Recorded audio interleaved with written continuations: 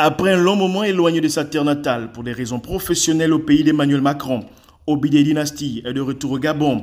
À son arrivée à l'aéroport international de Libreville, c'est un accueil digne d'une superstar qui lui a été réservé de la part de son fan club, très heureux de le retrouver. Une réception qui n'a pas laissé l'artiste de marbre. le sentiment, je peux être, euh, être content. En fait, l'émotion elle est grande, très très grande et je suis parti d'ici euh, la dernière fois je suis rentré ici plusieurs fois, pas dans ces conditions.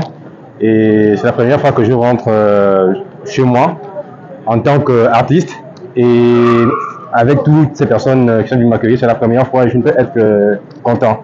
Je suis très content. Et je les remercie euh, d'abord. Je réserve beaucoup de choses man et à mes fans, beaucoup de choses. Et d'ailleurs, il y a une conférence de presse qui sera faite cette semaine. Vous êtes d'ailleurs invité et on se dira beaucoup de choses et vous allez mieux comprendre ce que Obi Dynasty euh, réserve pour euh, ses mélomanes et ses fans. Donc, euh, on va se retrouver dans quelques jours. Ce vrai de belles mélodies d'Obi Dynasty, c'est tout un sentiment de joie qui a envahi ces hommes et ces femmes qui ont patienté plusieurs heures à l'atterrissage de l'avion de leur artiste.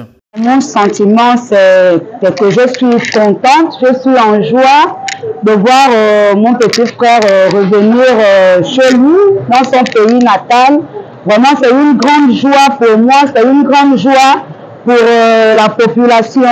Et j'invite euh, ses frères, ses soeurs, ses fans de l'assister jusqu'à son retour. Obide Dynasty, l'un des artistes urbains les plus doués de sa génération, a commencé sa carrière musicale au Gabon, plus précisément au quartier Amboé, là où il a écrit ses premières lignes. De retour dans son pays, l'artiste a chargé ses valises des belles mélodies qu'il présentera à ses mélomanes le moment venu.